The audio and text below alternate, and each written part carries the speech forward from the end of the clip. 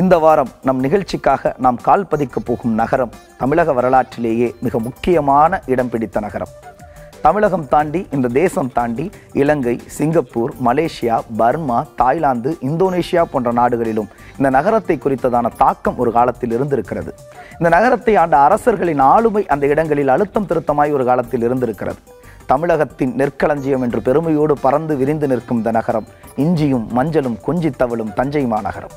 இந்த நகரத்தில் தான் இங்கு வசிக்கிற மனிதர்களைத்தான் நாம் பார்க்க போகிறோம் பேசப் போகிறோம். அவர்களின் உணவு பழக்க வழக்கங்களை பற்றி பேசி தெரிந்து கொள்ளப் போகிறோம். இது கொஞ்சம் சோறு கொஞ்சம் வரலாறு.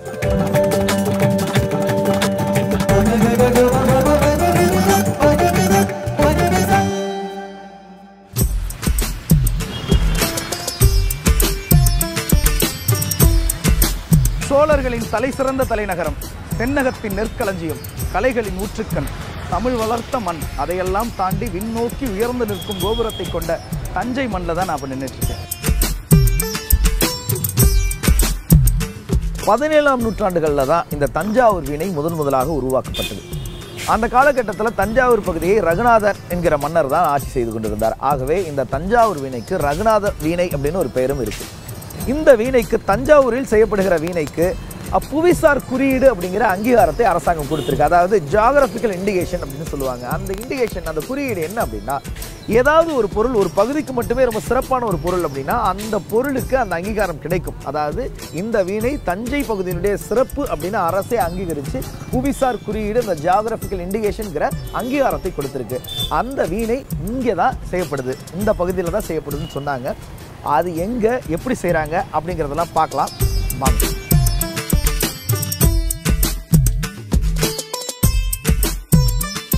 ஆக்சுவலாக இந்த தஞ்சாவூர் இந்த வீணை இருக்கு இல்லையா அந்த தஞ்சாவூர் பகுதியினுடைய ரொம்ப சிறப்புகளில் ஒன்றான வீணையை ஒரு பதினஞ்சு குடும்பங்கள் வரைக்கும் இந்த பகுதியை சுற்றி செஞ்சு கொடுத்துட்ருக்குறாங்களாம். ஆசியா முழுக்க தஞ்சாவூர் வீணைக்குன்னு ஒரு தனி சிறப்பு ஒன்று இருக்குது தனி மவுஸ் ஒன்று இருக்குது அந்த பதினஞ்சு குடும்பங்களில் ஒரு குடும்பத்தை தான் நான் இப்போ பார்க்க போகிறேன் ஒரு சந்து இண்டு இடுக்கெல்லாம் பூந்து தான் அந்த இடத்துக்கு போக வேண்டியதாக இருக்குது வாங்க போயிட்டு அவங்க எப்படி செய்கிறாங்க அதில் இருக்கிற நுட்பங்கள் என்ன சிறப்புகள் என்ன அப்படிங்கிறதெல்லாம் நம்ம கிட்ட கலந்து பார்த்துடலாம். ஓகே வாங்க.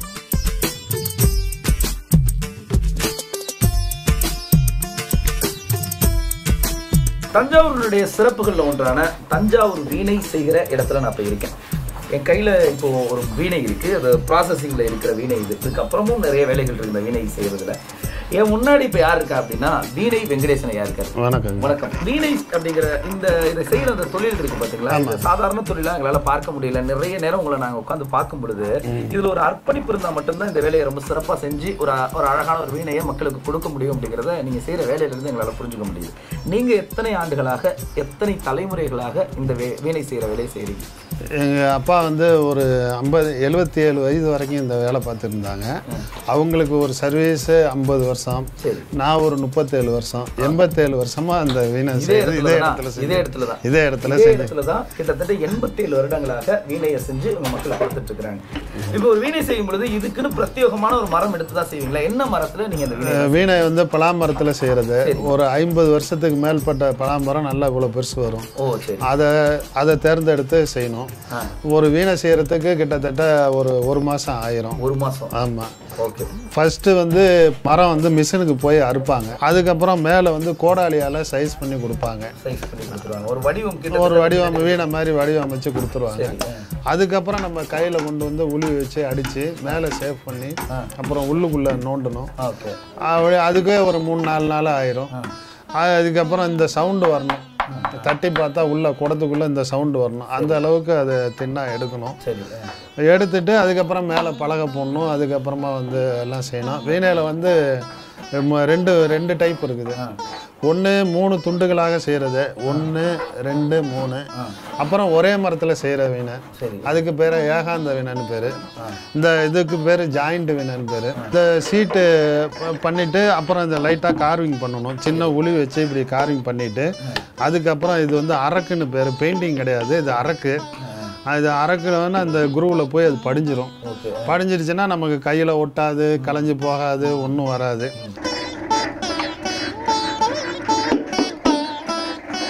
எனக்கு ஒரு சந்தேகம் இப்போ நீங்க ஒரு வீணை ஒன்று செய்றீங்க. முழுமையா ஒரு ஏகாந்த வீணைன்னு வச்சுக்கோங்களேன் ஒரே மரத்துல செய்யற ஒரு வீணை. அது எவ்வளவு நாளுக்கு அப்படியே இருக்கும்? அது வீணாக இருக்கும் நம்ம இருக்க மாட்டோம். அவ்வளவு வருடங்கள். ஆமாம் அது சொத்து அது. வீணைக்கு ஒரு நீண்ட ஆயுள் நீண்ட ஆயுள் வீணை வந்து ரீசேல் வேல்யூ உண்டு. ஓகே அப்போது ஒரு வீணை வாங்கினா நம்ம லாங் நம்ம தலைமுறை தலைமுறைக்கு அது அப்படியே இருக்கும். அது ஒன்றுமே செய்ய ஒரு இசைக்கருவினா அது வீணை. தான். இப்போ வீணையை வடிவமைக்கிறதுனா ஒரு நல்ல ஒரு மியூசிஷியன் வேணும். எப்படி நம்ம ஒரு கார் ஓட்டினா டிரைவிங் தெரியணுமோ அது மாதிரி வீணை செஞ்சால் இந்த ஃப்ரெட்டெல்லாம் அமைக்க தெரியணும் அதுக்கு சங்கீத கிளாஸுக்கு போகணும். ஓகே. நான் வந்து வீணை வீணையும் சங்கீத கிளாஸுக்கு போய் வீணையும் படிச்சிருக்கேன். சரி. வீணை வாசிப்பீங்க? ஆ வீணை வாசிப்பேன். ஓரளவுக்கு எனக்கு தெரியும். அந்த நுட்பங்கள் தெரியும் பெரிய ஆர்டிஸ்ட் இப்போ வீணை நே கொண்டு போய் கொடுக்கும்போது அவங்க சில தொழில்நுட்பங்கள்லாம் சொல்லி கொடுத்துருக்காங்க. ச ரி க ம ப த நீ ச ச நீ த ப ம க ரி ச. இன்னைக்கு ஐயா கிட்ட பேசும்போது நமக்கு தெரியற ஒரு விஷயம் என்ன அப்படின்னா ஐயா இது ஒரு தொழிலா மாத்திரம் பார்க்கல. இது ஒரு ஒரு தெய்வீக ஆமா, அஹ், ஆமா. கட்டளையா தான் அவர் இதை கண்டிப்பா, பார்க்கறாரு. கண்டிப்பா, கண்டிப்பா. இதை ஒரு தன்னுடைய வாழ்க்கையினுடைய பாக்கியமா அவர் இதை நினைக்கிறாரு. இப்படி வீணை செய்து மக்களுக்கு கொடுக்கறத தன்னுடைய வாழ்நாளுடைய பாக்கியமா மகிழ்ச்சியா ஐயா பார்க்கறாரு. ஐயா உங்களுடைய மகிழ்ச்சிக்கு எங்களுடைய நன்றிகள். நீங்க நிறைய வீணைகள் நீங்க செய்யணும்.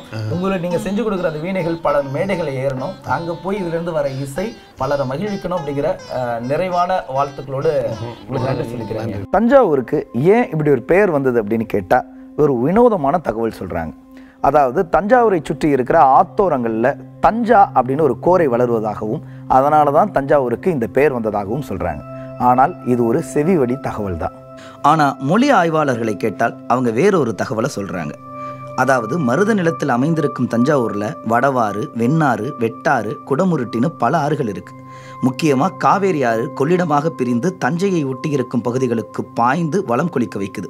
இத்தனை ஆறுகள் இருக்கிறதால தான் தமிழ்நாட்டின் நெற்களஞ்சியம் என்கிற பெருமையோடு தஞ்சாவூர் தலை நிமிர்ந்து நிற்குது. தமிழகத்தின் நெற்களஞ்சியம் என்ற பெருமையோடு பறந்து விரிந்து இருந்ததால் தஞ்சாவூரை சுற்றி இருந்த ஊர்களில் எப்படியான பஞ்சம் வந்தாலும் அந்த ஊரினுடைய மக்கள் தஞ்சைக்கு வந்துதான் தஞ்சமடைவார்களாம்.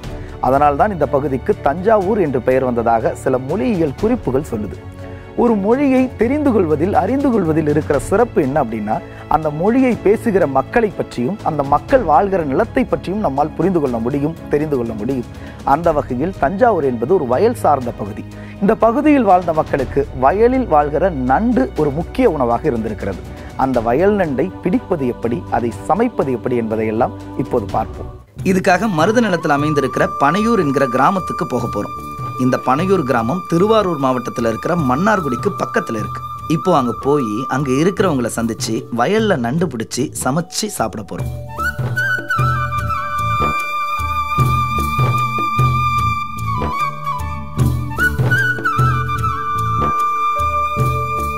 இப்போ நான் நிற்கிற இடம் வந்து ஒரு அப்படியே சுற்றி அப்படியே சுற்றி பார்த்தீங்கனாலே தெரியும். ஒரு பசுமையான ஒரு சூழலில் பசுமையான ஒரு இடத்துல நான் நின்றுட்டுருக்கேன் எதுக்கு இங்கே வந்திருக்கேன் அப்படின்னா நெல் பயிரிட்டுருக்கிறாங்க அது இவ்வளோ தூரம் வளர்ந்துருக்கு. இந்த காலகட்டத்தில் இங்கே வந்து வயல் நண்டு பிடிச்சா செம்மையாக சிக்கும் அப்படின்னு சொன்னாங்க. வயல் நண்டு அப்படின்னே அப்படி நாக்கில் அப்படிலாம் வச்சு ஊறிடுச்சு. என்ன மேட்ரு அப்படின்னா கடலில் பிடிக்கிற நண்டுக்குன்னு ஒரு தனி டேஸ்ட் இருக்கும். வயலில் பிடிக்கிற நண்டுக்கு அதை விட இன்னும் இன்னும் அதிகமான டேஸ்ட் இருக்குன்னு சொன்னாங்க. அதை தாண்டி வயல் நண்டு அப்படியே சூப் வச்சு குடிச்சா அது பயங்கரமான ஆரோக்கியம். அப்படி நெஞ்சு சளியெல்லாம் எடுத்துரும் பயங்கர ஆரோக்கியம். செம்ம டேஸ்ட்டாக இருக்கும். அப்படி இருக்கும் அப்படின்னு சொன்னாங்க. அதை தாண்டி இப்படி இயற்கையோடு இருக்கிற இந்த நண்டை தேடி பிடிச்சி சமைச்சு சாப்பிட்லான்ற ஒரு ஆசையோடு வந்திருக்கோம். அக்கா ஹெல்ப் பண்ணுறேன்னு சொல்லியிருக்காங்க. அக்கா ஆல்ரெடி வேலையை ஸ்டார்ட் பண்ணிட்டாங்க. அவங்களோட சேர்ந்து நானும் நண்டை இறங்கி இந்த வயல்வெளியில் இறங்கி நண்டை பிடிக்க போகிறேன் எத்தனை சிக்குதுன்னு பார்ப்போம். சிக்கலாம் அத்தனையும் சமைப்போம். பிடிக்க ஆரம்பிச்சிட்டாங்க. பிடிச்சிட்டே இருக்காங்க. ரெண்டு நண்டு கொடுத்துருக்குறாங்க. பட் எனக்கு பிடிக்க ஒரு மாதிரி பயமாகவே இருக்குது. இருந்தாலும் ட்ரை பண்ணி. மூணு. அடுத்தது அடுத்தது.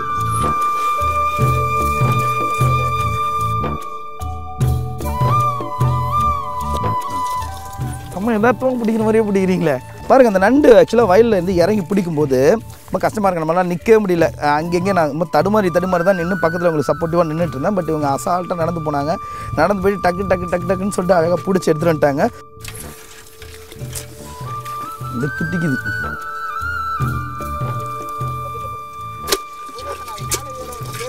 இது இதில் என்ன சமைக்கலாம் நம்ம இன்னைக்கு? நண்டு வறுவல். சூப்பர்.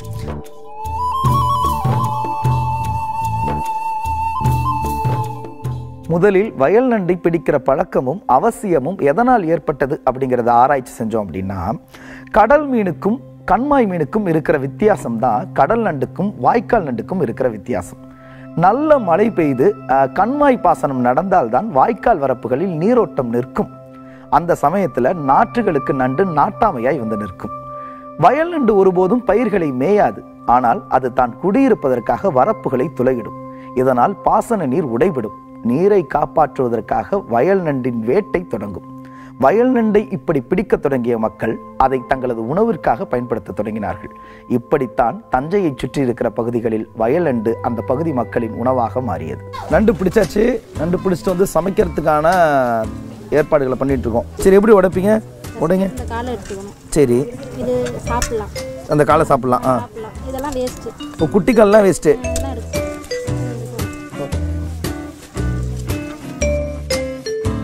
நண்டு உடைச்சதுக்கு பிறகு நண்டில் ரசமும் வச்சு தர நண்டு ஃப்ரையும் பண்ணி தர போகிறாங்க நான் இப்போ நாட்டு நண்டை வச்சு ஒரு வறுவல் பண்ண போகிறேன் எண்ணெய் ரெண்டு ஸ்பூன் ஊற்றுறேன் பட்டை சோம்பு போடுறேன். அடுத்தது வெங்காயம் போடுறோம். தக்காளி சேர்க்குறோம்ல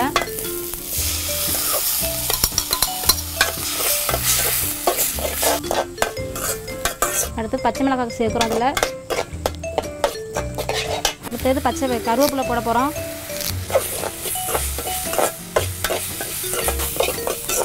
அடுத்தது இஞ்சி பூண்டு பேஸ்ட் போடுறோம்.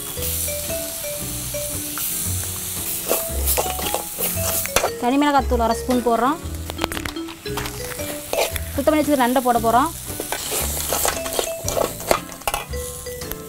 தேவையான அளவு உப்பு சேர்க்குறோம்.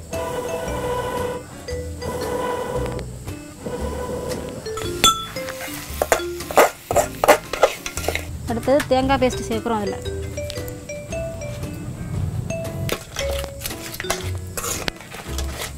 ஒரு அரை கிளாஸ் தண்ணி எடுத்து ஊற்றி விட்டு வேக வைக்க வேண்டியதுதான். இப்போ மூடி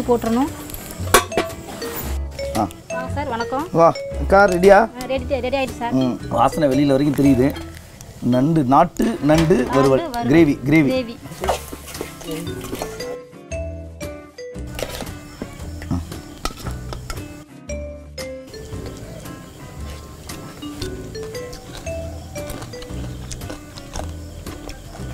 அப்படியே மென்று சாப்பிடலாமா? ம்?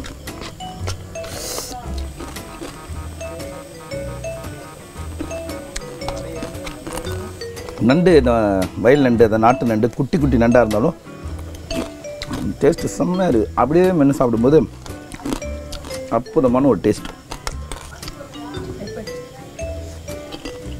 எண்ணெய் வயலுக்கு கூப்பிட்டு போய் நண்டெல்லாம் பிடிக்கிறத காமிச்சு இப்படி தான் பிடிக்கணுன்றதெல்லாம் சொல்லி கொடுத்து அதை அழைச்சி எடுத்துகிட்டு வந்து சமைச்சு கொடுத்துருக்கீங்க. ரொம்ப ரொம்ப நன்றி.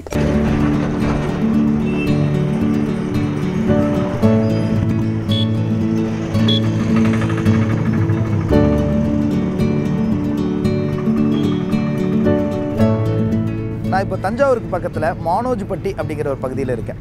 மராட்டியர்களின் ஆட்சி காலத்தில் தஞ்சையில் நிறைய கேளிக்கை விடுதிகளும் மகால்களும் கட்டப்பட்டது. மராட்டிய மன்னர்கள் அவர்களுடைய ராஜ குடும்பத்தினர் தாங்கள் சந்தோஷமாகவும் மகிழ்ச்சியாகவும் உல்லாசமாகவும் இருப்பதற்காக ஊட்டியில் இருக்கிற நீலகிரியை போன்ற ஒரு பகுதியை இந்த தஞ்சை மண்ணிலும் உருவாக்கினார்கள். தஞ்சாவூரில் நீலகிரி அப்படின்ற ஒரு பகுதி ஒன்று இருந்தது. அந்த பகுதியினுடைய ஒரு பகுதி தான் மானோஜ்பட்டி அப்படிங்கிற ஒரு பகுதி. அந்த மானோஜ்பட்டி அப்படிங்கிற பேர் எதற்காக வந்தது அப்படின்னா மராட்டிய படைத்தளபதி மானோஜ் ராவ் அவரின் நினைவாக இந்த பகுதிக்கு மானோஜ்பட்டின்னு பேர் வந்தது. தஞ்சையில் நீலகிரியை போன்ற ஒரு பகுதியை உருவாக்கினார்கள் இல்லையா? அதற்காக அவங்க என்ன பண்ணாங்க அப்படின்னா ஊ- ஊட்டிக்கு பக்கத்தில் இருந்து நிறைய மரக்கன்றுகளை எடுத்துகிட்டு வந்து லட்சக்கணக்கான மரக்கன்றுகளை எடுத்துட்டு வந்து நட்டு ஒரு சோலை வனமாக இந்த பகுதியை மாற்றினாங்க மாற்றினதற்கு பிறகு அந்த இடத்துக்கு நடுவில் அந்த வனத்திற்கு அந்த வனமாக மாறி போய் இருந்த அந்த இடத்துக்கு நடுவில் ஒரு மண்டபத்தை கட்டினாங்க. அந்த மண்டபத்தினுடைய பேர் தான் உப்பரிகை மண்டபம். அந்த மண்டபத்தில் தான் நான் இப்போ நின்றுட்டு இருக்கேன். இந்த உப்பரிகை மண்டபத்தை சுற்றி உள்ளே வந்து பார்த்தோம்னா பதினோரு ஜன்னல்கள் இருக்குது இந்த ஜன்னல்களின் வழியே சுற்றி இருக்கிற அந்த அடர்ந்த வனத்தையும் பூக்களால் நிரம்பிய அந்த சோலையையும் பார்க்கிற பொழுது மிகவும் மனசுக்கு மகிழ்ச்சியாக இருந்ததுனால மராட்டி வம்சாவளியினர் மராட்டிய அரசு குடும்பத்தினர் தங்களுடைய ஓய்வு நேரத்தை தங்களுடைய மகிழ்ச்சியான தருணத்தை இந்த உப்பரிகை மண்டபத்தில் இருந்து தான் கிடைச்சிருந்திருக்கிறாங்க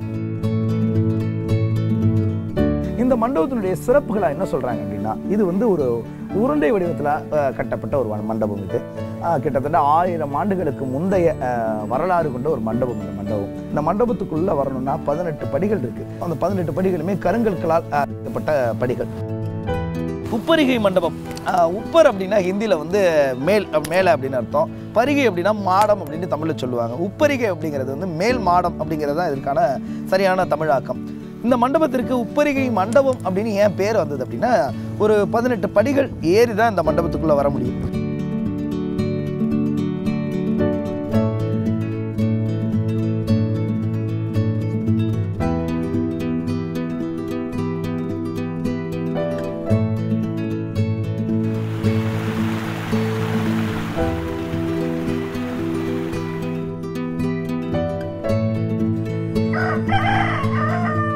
வைக்க போகிறது வந்து நண்டு ரசம் அதுக்கு தேவையானது வந்து நண்டு பட்டை மிளகாய் பூண்டு கண்டது புளிக்குச்சி சதகுப்பை மிளகு பெருங்காயம்.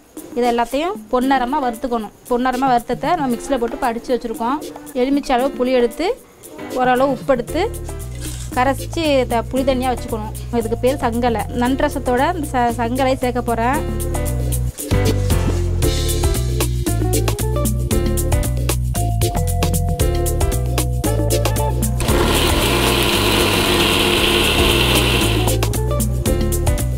அந்த கலவாப்பை ரெடி ஆகிட்டு எண்ணெய் ஊற்றியாச்சு வெந்தயம் போடுறோம். கருவேப்பிலை போட்டாச்சு. மஞ்சத்தூள் கொஞ்சம் போட்டாச்சு. தக்காளி போட்டாச்சு. அடுத்தது இந்த அரைச்சி பேஸ்ட்டை சேர்க்கணும்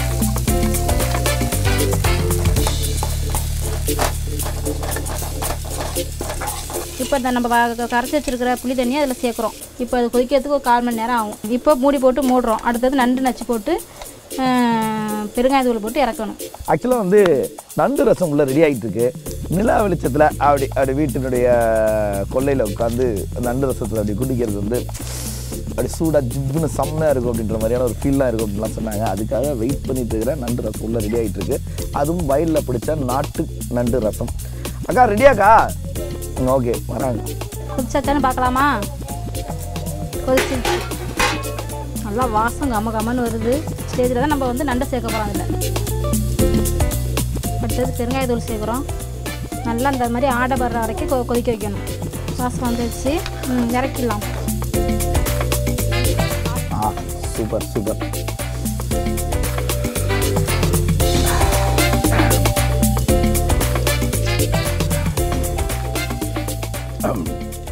மிளகுலாம் போட்டு இப்படி காரமாக உள்ளே இறங்குது. இது சாதத்துலேயும் போட்டு சாப்பிட்லாமா? நம்ம பொதுவாக சூப் மாதிரி குடிப்போம் இல்லையா? அது மாதிரி இந்த ரசத்தை குடிக்கலாம் அப்படின்னு சொன்னாங்க. அதனால தான் போய் ட்ரை பண்ணுறேன் சூப்பர் சூப்பரான ரசம். அது சாப்பிடும்போது அப்படியே தொண்டையெல்லாம் இறங்குது இது. இறங்கும்போது செம்ம ஒரு ஃபீல் இது. மிளகு நிறையா சேர்த்துருக்கீங்களோ? சங்குல கலந்துருக்காங்க. சங்குல எதுக்காக அப்படின்னா உடம்புனுடைய வலியெல்லாம் பயங்கரமாக போக்கிடுமா? அதை தாண்டி வந்து ம், பேறு காலத்தில் பெண்களுக்கு வந்து ரொம்ப ஆரோக்கியமான குடிக்க வேண்டிய ஒரு விஷயம் இது அப்படின்னு சொல்றீங்க கரெக்டாக அதெல்லாம் தாண்டி இதில் நிறைய ஆரோக்கியம் இருக்குது அப்படின்றதெல்லாம் தாண்டி டேஸ்ட்டும் ரொம்ப சூப்பராக இருக்குது செம்மையாக இருக்குது நாட்டு நண்டு ரசம் மிகச்சிறந்த சுவை. வரலாற்றை அறிந்து கொள்ள தொடங்குவதிலிருந்து தான் வாழ்க்கைக்கான பயணம் தொடங்குகிறது. வரலாற்றை புரிந்து கொள்ள தொடங்குவதிலிருந்து தான் வாழ்க்கைக்கான அர்த்தம் தொடங்குகிறது. வரலாற்றை உணர்ந்து கொள்ள தொடங்குவதிலிருந்து தான் வாழ்க்கைக்கான விடியல் தொடங்குகிறது. அந்த வகையில் இந்த வாரம் தஞ்சாவூரை சார்ந்த வரலாற்றையும் அந்த பகுதி மக்களின் வாழ்வியலையும் பார்த்தோம் பேசினோம். அடுத்த வாரமும் தொடர்ந்து பார்ப்போம். இது கொஞ்சம் சோறு கொஞ்சம் வரலாறு.